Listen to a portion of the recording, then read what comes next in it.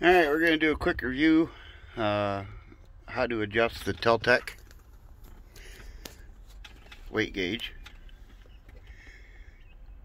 I don't have a trailer on me right now, but you will want to weigh your truck and know what's on your drives. Once you know your weight on your drives, push and hold this button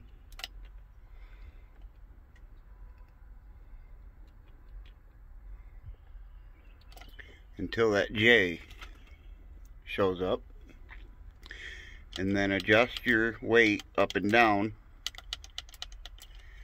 to whatever your weight is. So this is uh, 4700 pounds 4600 4500 it will usually read when you're done about 100 pounds more than and then you just let it set and now it's set. And you may have to do that two, three, four times to dial it in. I usually set it about 300 pounds more than what my actual weight is. So I have a little bit of a cushion.